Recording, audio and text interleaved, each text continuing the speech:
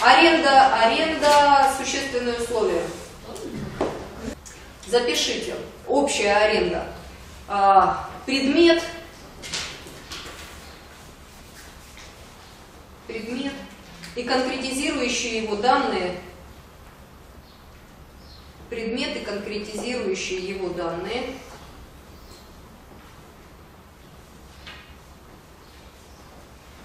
Позволяющие определенно установить имущество, подлежащее передаче в аренду.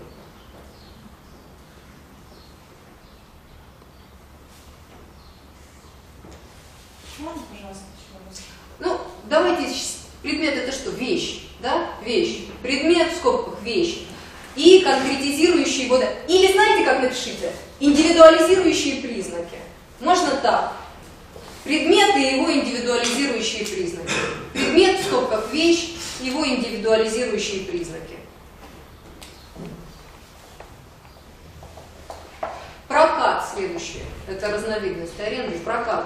Успеваем? Да. Прокат. Предмет в скобках движимое имущество, используемое для потребительских целей. Предмет, то есть движимое имущество, используемое для потребительских целей.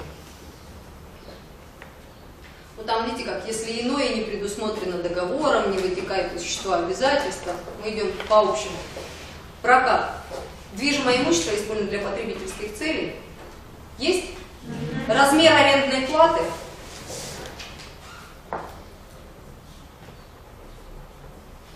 Размер арендной платы. Это что касается существенных условий. Что сюда еще в качестве а, обязательного требования? Только письменная форма. Отметьте себе, можете тоже в эту колонку существенных условий смело вставлять. Ошибка не будет. Только письменная форма. Если письменную форму не соблюдаем, что будет? Не можно ссылаться на свидетельские показания. Молодцы, молодцы. Денис говорит, вот как с вами хорошо работать. Денис говорит, недействителен договор. Иван говорит, договор действителен, но мы в этом случае несем такие последствия, что для подтверждения заключения договора и его условий мы не можем ссылаться на свидетельские показания. Кто прав? Я, конечно. Я, конечно. Да, Иван, да. Э, Вот это вот условие сохраняется на всех договорах. Какой? Положим, берем э, э, э, на его помещение. Если пара договор должен быть заключен по соответствии с гражданским кодексом обязательно в письменном виде. А если он заключен не в письменном виде, тогда мы также Какая по там? аналогии с. Надо Есть посмотреть по найму, есть ли там особенности. Давайте я сейчас дойду до найма, посмотрю. Не помню в отношении найма, там просто может быть какая-то особенность. Но в части проката последствия таковы. Денис, последствия таковы, он заключен. Просто вы лишаетесь права ссылаться на свидетельские показания. Прокат записали. Аренда транспортных средств. Ну, соответственно, существенное слово. Предмет, то бишь транспортное средство, да? Используют ну, транспортное средство. Транспортное средство, срок.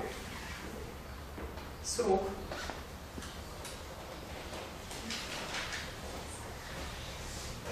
А, то же самое есть требование к письменной форме, под то же самое, под угрозой невозможности ссылаться на свидетельские показания. Это в соответствии с какой статьей? 162. Вот, это я хотел сказать. Мгм. Есть? Написали? Дальше. Аренда здания и сооружения. Аренда здания и сооружения. Предмет, собственно, здание или сооружение. Что такое сооружение? С созданием нам понятно. Приведите примеры сооружений. Гараж. Баня. Ну, э, все линейные объекты. То есть газопроводы, трубопроводы, вот такие вот вещи. Это сооружение. Да? Сооружение равно линейный объект. Да. Сооружение общее понятие, включающее в себя линейный объект и другие объекты. Ну, как, какой вы молодец. А, линейный объект, я думаю, что это сооружение.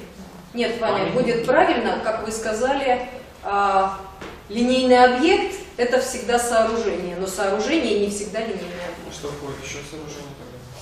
Вот Денис говорит, Максим, водонапорная башня, да? Памятник. Памятник. А имеется в виду техническая или в принципе какая-то конструкция? Не знаю, памятник, вы меня прямо задачили. Ну, тогда это Автобусная остановка. Сооружение. сооружение, да. Автобусная остановка, А что сооружение. здание Мне кажется, является? А? Что является зданием? Что, так, что является зданием? Даже не знаю, кто пример есть. Ну, здрасте. Четыре стены. Так, хорошо, ладно, поехали. Да нет, то это надо, у нас надо чуть-чуть с этим. Мы этого как раз, и мы это как раз с вами не касались, когда проходили аренду недвижимости. Но это недвижимость, да? Здание, сооружение – это всегда недвижимость. Отталкивайтесь от этого. Так, аренда здания, сооружения, предмет договора, то есть здание, сооружение. Второе, размер арендной платы. Есть размер арендной платы. И отметьте себе, заключается в письменной форме путем составления одного документа. Заключается в письменной форме путем составления одного документа. Сейчас задам вопрос, с места не говорите. Поднимите руки, хочу посмотреть, кто усвоил. Не бойтесь поднимать руки, не всех, не, не значит, что прям вот кинусь спрашивать. Хочу понять, кто усвоил. Значит, я здесь вам говорю, заключается в письменной форме путем составления одного документа, подписанного сторонами. Каким еще путем может заключаться договор? Если не путем составления одного документа. Вот когда вы будете рыбу подряды себе печатать, это будет один документ, подписанный обеими сторонами, да, стандартный. Каким еще путем не составления одного документа и подписанного обеими сторонами мы можем заключить договор? Договор заключается посредством чего? Следственное управление акцепта и подписание. Акцепт и. Конечно, оферта или ее акцепт. Оферта и ее акцепт. Причем эта форма, она вообще как стандартная у нас идет в ГК. Если вы откроете статью о заключении договора, первое, на что вы наткнетесь, именно на этот способ. На этот способ. Ну, практика пошла таким путем, что в итоге по результатам всем, всех договоров составляется единый документ. Но это же всегда, как правило, предшествует вот эти вот. И если у вас в вашей практике, если у вас в вашей практике не будет единого документа, подписанного обеими сторонами, если это не касается аренды здания, сооружения или купли-продажи недвижимости, это не значит, что у вас нет договора заключенного. Это значит, что вы можете брать переписку. Один предложил, другой ответил. И это тоже считается, что договор возник. Главное, чтобы там были все существенные условия для оферты и для акцепта. Запомните это, пожалуйста, как отче наш, чтобы на практике не сталкиваться с проблемой. Так, а, мы записали, заключается в письменной форме путем составления одного документа, подписанного сторонами. Если законодатель такое требование предъявляет, значит, если мы его не соблюдаем, наступают какие-то последствия. Ваше предположение, какие последствия, если мы не соблюдаем это требование? Аренда здания и сооружения. Э, Договор заключается посредством составления одного документа, подписываемого обеими сторонами, если мы не соблюдаем это требование. Какие последствия?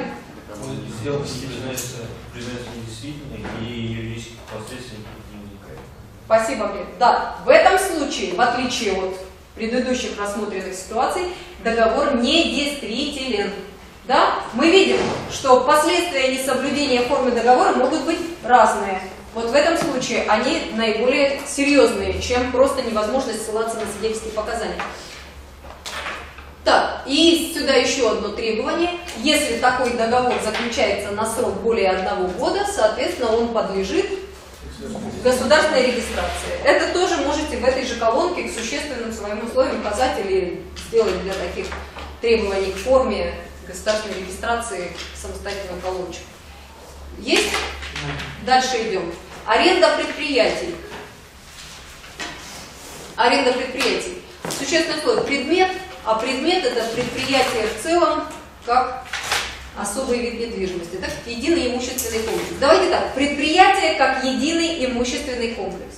Предмет договора – это предприятие как единый имущественный комплекс.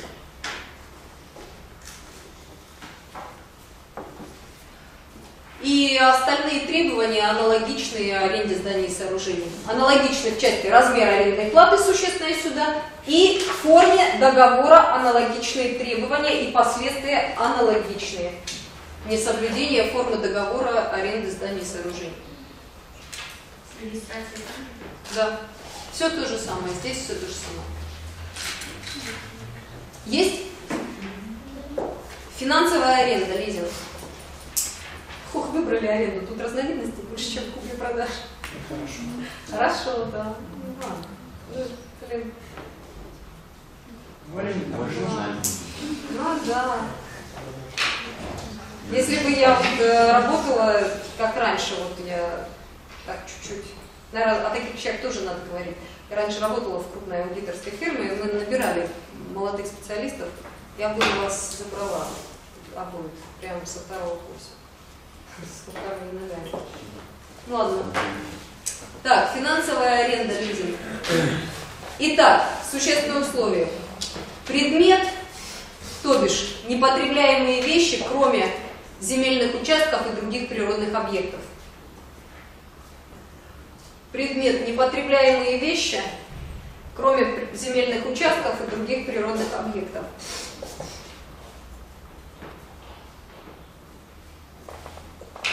Непотребляемые вещи, кроме земельных участков и других природных объектов. А, срок, здесь существенное слово, и размер арендной платы. И размер арендной платы.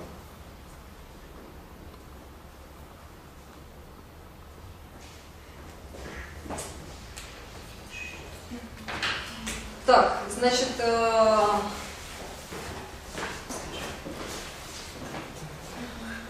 а, я составила эту таблицу давно, не знаю на актуальность. Я вам сейчас скажу фразу, а вы ее перепроверяйте. Проверьте. У меня стоит, я не знаю, убрали это условие или нет. Значит, у меня стоит а, договор лизинга недвижимого имущества подлежит госрегистрации независимо от срока его действия, если иное не установлено законом. По крайней мере, три года назад была такая, было такое правило. Договор лизинга недвижимого имущества подлежит госрегистрации независимо от срока его действия. А Это какая была? Я уже не помню, может быть, в Да, законе есть. Есть, осталось? Движимо там по договоренности. по договоренности, если движимое, а по недвижимому как обязательно, да? Ну вот Настя говорит, что эту норму можно проверить в договоре о лизинге. Ой, в смысле, в законе о финансовой аренде лизинга. Так, наем жилого помещения. А у вас, Тихон, был как раз про наем вопрос, да? Про, форму договора найма. Да. Вот, ну, как раз вот мы сейчас и подошли. Так, а, найм. Найм. Это предмет, то есть жилое помещение. А, Знаете, как у меня стоит? Изолированное жилое помещение, пригодное для постоянного проживания. То есть квартира, жилой дом, часть квартиры или жилого дома. Предмет квартира, жилой дом, часть квартиры или жилого дома, и это изолированное жилое помещение, пригодное для постоянного проживания. А, Вы знаете, что есть договор социального найма, да? Как разновидность найма.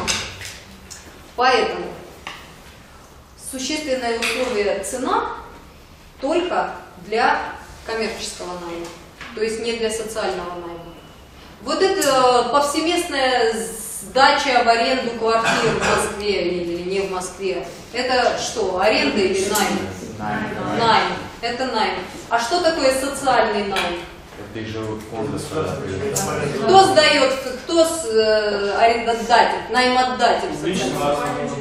Молодцы. Все, вот, собственно, р- по субъектам начиная и дальше там свои особенности. Так вот, для социального найма цена несущественна, для коммерческого найма цена существенна.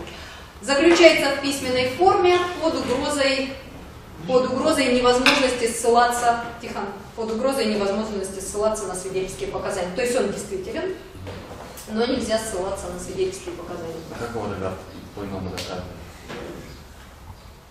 А как вы по-иному бы доказывали? А, Платеж. Да, вы платите бремя э, коммунальных платежей, оно возлагается на вас. Да, оно возлагается на вас. Вы можете по, а, по месту проживания зарегистрироваться, как ваше место проживания, штамп по регистрации, там, в, реестр вас внесли, регистрационный, вы это уже Как подтверждали. Платеж. доказывать со стороны, если квартира съемщик взял, съехал и не оплатил определенный период времени, как доказывать э, э, наимодателю, м, что этот человек у него проживал без письменной формы. Помимо того, Папе, кроме и свидетелей он ссылаться не может, правильно? а если форма договорного письма? Ну вот мы говорим, ссылаться на свидетелей он не может. Тут же запрет ссылаться на свидетельские показания. Да? Извините, а для найма, получается, существенные условия будут предметы только и письменная форма? А, письменная форма для любого найма. Для любого найма. А в части именно условий, кто предмет для социального, для коммерческого предмет и цена. Последний. Договор безвозмездного пользования ссылкой. Предмет договора или указание на безвозмездность договора. А предмет это индивидуально определенные непотребляемые вещи. Индивидуально определенные непотребляемые вещи. Здесь предмет и указание на безвозмездность. Указание на безвозмездность обязательно, потому что у нас а, возмездность правоотношений в ГК, она презюмируется. Если не указано прямо на безвозмездность, соответственно, отношение возмездное. Вот такой принцип у нас идет а, в гражданско-правовых договорах. Да. Безвозмездность как э, нулевая цена может восприниматься? Что такое безвозмездность? Скажите. Отсутствие встречного предоставления. Любого. Отсутствие встречного предоставления. Какого то ни было. Освободить от какой-то имущественной обязанности, да? Либо заплатить там что-то еще. Как вы полагаете, нулевая цена? Ну, то есть, ты мне должен 0, 0 рублей. Ваши мысли здесь. Встречное предложение есть. А есть ли? Если буквально пойдем, если буквально пойдем, нарвемся на встречность. А если пойдем по существу, Фактически, нет. конечно, если пойдем в самое сердце, в существо, там никакой встречности не будет. И слава богу, сегодня у нас идет э, практика уже по пути отхода от буквального толкования, все-таки ну, отталкиваться от какого-то смысла. Но пока еще мы балансируем на грани буквального, смыслового содержания, поэтому э, лучше формулируйте с указанием на безвозмездность. Но если уж так столкнетесь, конечно, доказывайте существо, всегда существо доказывайте.